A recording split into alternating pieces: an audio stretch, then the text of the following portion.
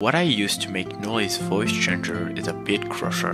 You're free to copy the effects if you want as I'm doing this mostly because no one ever made a Forsaken voice changers that doesn't require you to spend 50 bucks on a voice changer app. I see you blue dude. By the way, if you wanna know, I do have a Blue Dude voice changer, but I'll keep it for another showcase. So, Noli also got a glitch effect, so that's what I used. Note that in order to work, the glitch effect have to get you to play the audio.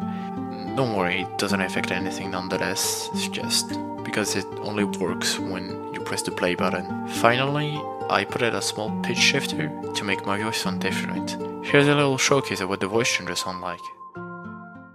So, uh, the Noli voice changer, there it is. It's all cool, all beautiful. There's a little demonstration. Uh, you can use a soundboard, like this one. Oh, I'm so sorry to hear about your brother that passed away. He gets five, big booms.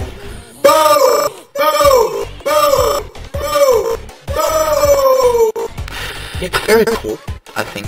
Uh, and yeah, that's all. Uh, good night, good morning, and uh, kiss on the cheek.